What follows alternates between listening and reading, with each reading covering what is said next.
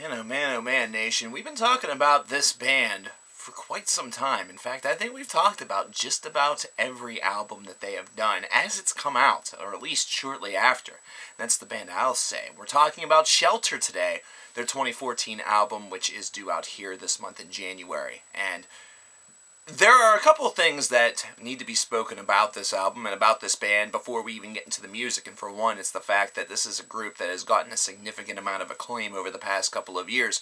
Literally, ever since they kind of burst onto the scene, it was because they were able to really bring something that wasn't necessarily 100% different, but they were just blending a lot of different styles between uh, some some real kind of uh, post black metal ideas that went along with post rock that kind of cavorted together and created this very beautiful very atmospheric, very harmonic uh, atmosphere and idea to it, and it's something that has uh, brought them significant acclaim. But not to mention, it has also brought them a significant fan base, and has kind of uh, helped them spearhead a movement that has already been going on prior to them coming out. However, it's kind of given the movement a lot more legs. There are definitely a couple more groups out there uh, these days here in 2014 that are uh, encouraged by the style and perhaps want to shape the style into their own, as opposed to whenever Alcest first began. Now, admittingly speaking, there were many individuals, many reports that were coming out that were saying that with Shelter, this was going to be Alcest moving in a bit of a different direction, in a bit of a softer direction.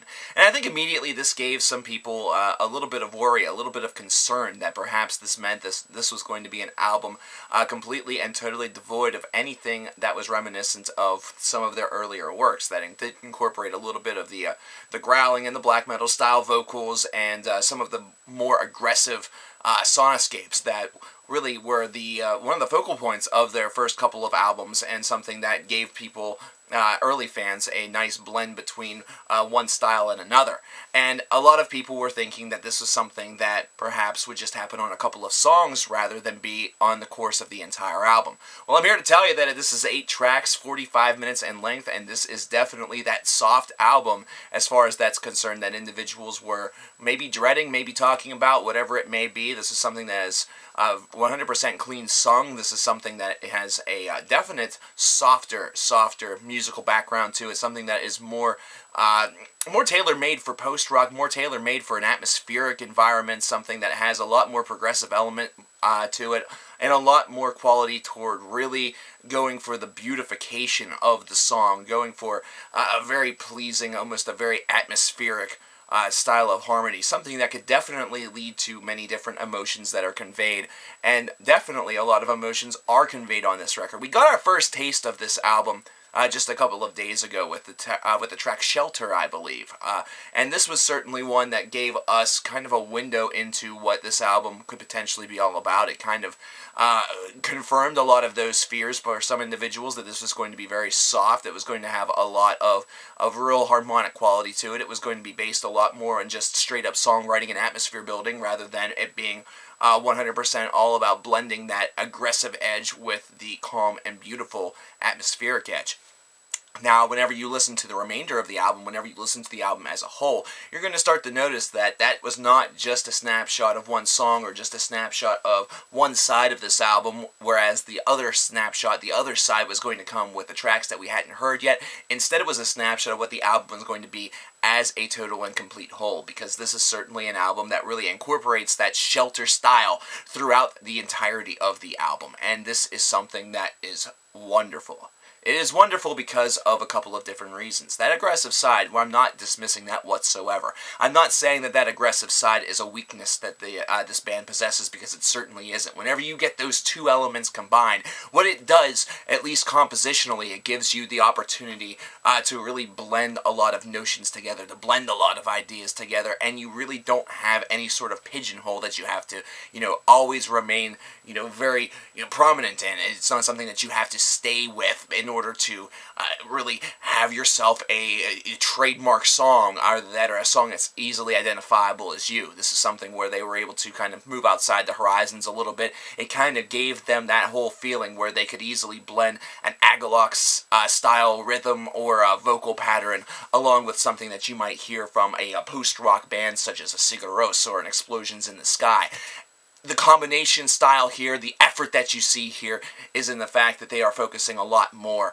on this album with the uh, the beauty and the emotion that's kind of attached with it. This is something where the uh, the emotion does not have to be driven, the angst doesn't have to be driven by that aggressive style of vocals. This is instead something that can be driven by the music that surrounds it, whereas the vocals kind of paint the picture uh, as far as uh, on a on a literal sense uh, in order to present the entirety of the uh, the story that's being told uh, throughout each track on this album. The one thing that I will say, the picture that is painted for me whenever I hear this album is there's a lot of uh, ideas of hope that come to mind. There's a lot of ideas of of grace. I I kind of whenever I listen to this band always had this idea that I was kind of walking through a landscape, walking through a, a, a naturistic environment. You know, walking through an environment that doesn't have a lot in the way of you know towns, cities, structures. This is something where I, I'm principally 100% in either a forest or in a meadow. I'm in some sort of environment that involves nothing but nature, nothing but me being one with the nature that surrounds me.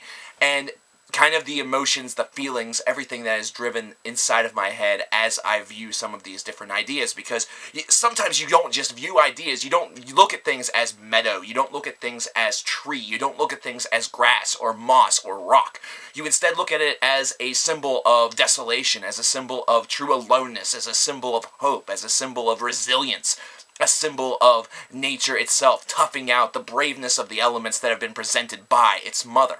This is something that is 100% represented on this album once again, and the soft vocals actually add a nice picturesque addition to all of these things, giving it the added element uh, of kind of softness and uh, resident beauty that it really is kind of in demand for, and kind of this is something that makes tracks like this all the more splendid. I really have to give props to the 10-minute final track Deliverance for really delivering a fantastic ride by itself. Just whenever you think it's over at around the 7-minute mark and it's sort of just going to fade in the dusk, it returns back with that familiar end riff that really does offer a lot of a lot of different ideas. There's almost an idea of loss that you get from some of the uh, uh, of this outro, but also one of silent redemption. There's a lot of different things that you can easily factor out of this, and really the best part about this is that granted your mood, granted what you're imagining, granted the things that are going through your mind as you're listening to this album, that is going to really base a lot about what you are thinking about and what all of this seems to mean. Perhaps the picture that you get whenever you listen to this album is different than the one that I get. You're not necessarily seeing a a nature scene. You're not necessarily being one with the nature or the earth that surrounds you. Perhaps this is one where you see it as being alone in a city full of millions. Perhaps you see this as being uh, one with the entire universe. Perhaps this is one where you see yourself in said universe, perhaps in space, floating around, and each song perhaps representing a new planet that you see and the different surroundings and the different feeling, the different emotions that are conveyed by seeing these these very alien landscapes.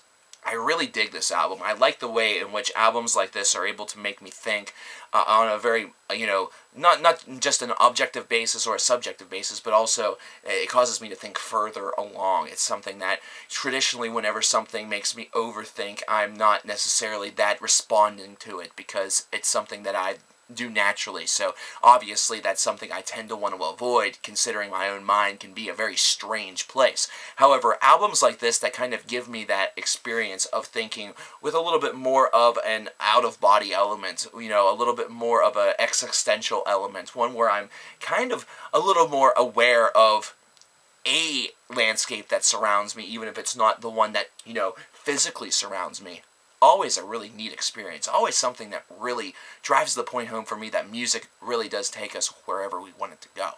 I have to give this album a strong, strong score. I have to give this an 87 out of 100. I almost reverted back to the old style uh, uh, of rating. I, I, there's not much that I really see to be uh, wrong with this disc. The one thing that I will say is that while I do enjoy the softer element, while I do find it to be absolutely beautiful, I don't want to see that harsh or that aggressive tone completely and totally abandoned on future releases. I think this is something where you can easily represent a lot of different things with that tone, and if it's something that's only used once or twice an album, if that, it's definitely something that would be welcomed uh, on future releases.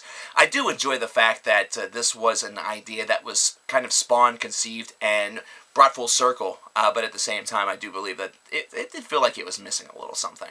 So there you go, ladies and gentlemen. Check out Shelter. This is a fantastic disc. This is certainly one not to own just on CD, but also to order on vinyl. I, I, definitely highly recommend that. I really think that albums like this are best really listened to on a, uh, a turntable uh, on a uh, on some wax because it's just th- these are the the real landscape pieces that really this kind of hobby is built for.